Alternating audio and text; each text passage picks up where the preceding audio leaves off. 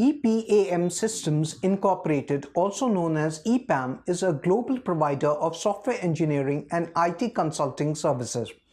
The company headquartered in USA, Pennsylvania, has its branches and software development centers all over the world. EPAM provides good incentives to candidates like medical insurance and life insurance along with annual package of 6 to 8 lakhs per annum.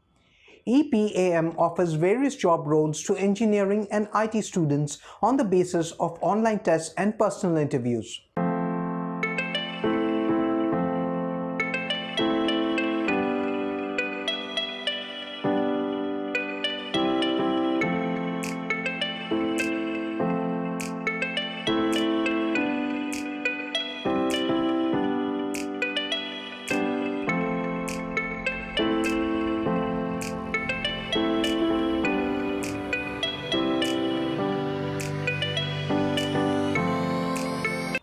We will now talk about the eligibility criteria for EPAM exam.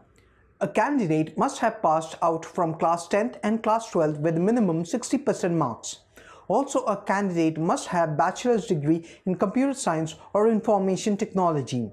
A candidate must have good knowledge of programming languages like Java and a good grip over algorithms, data structures, and OOP's concepts. Apart from that, a candidate must have prior experience of coding contests and technical certifications from Microsoft of Java, Java streams.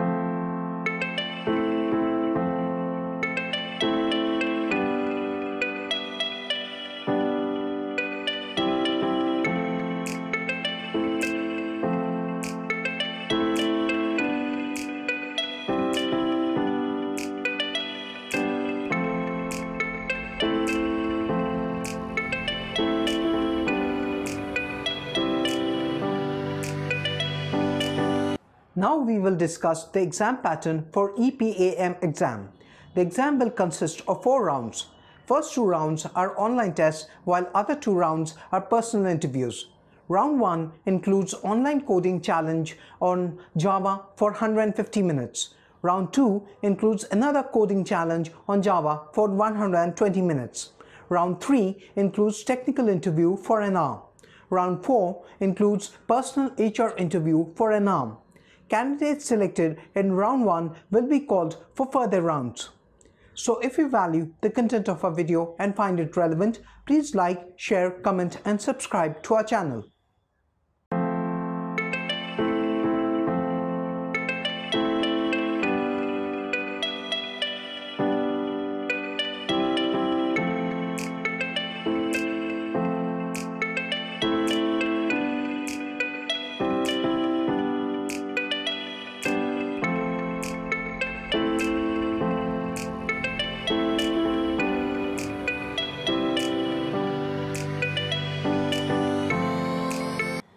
Let us now talk about a few tips and tricks for EPAM exam.